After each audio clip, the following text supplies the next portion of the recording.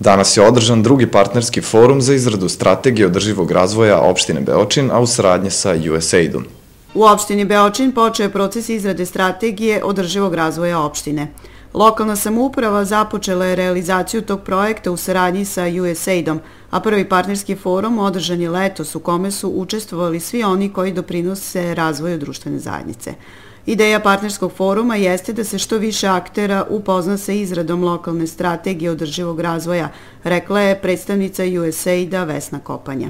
Treba da vodi planirani proces razvoja u sva tri segmenta, znači ne isključivo samo ekonomski koji jeste osnova, nego i onaj drugi koji se tiče zaštite životne sredine i treći koji se tiče mi ga zovemo društvene delatnosti, ali koji je vrlo raznovrstan i koji obuhvata sve, od obrazovanja, zdravstva, kulture, sporta, medija, e, same lokalne samuprave, znači vrlo onako široko. Jelena Pašćan iz Kancelarije za lokalno ekonomski razvoj rekla je da opština izrađuje novu strategiju pošto stara traje do 2012. godine i da je do sada opština Beočin uradila to da ima master plan Fruške gore, regionalni i lokalni plan upravljanja otpadom, program za razvoj turizma i lokalni akcioni plan za zapošljavanje.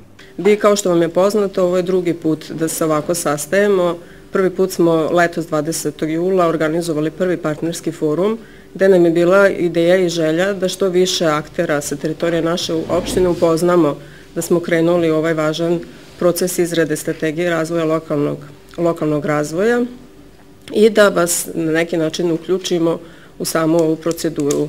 Strategija održivog razvoja opštine Beočin radi se za period od 2013. do 2022. godine.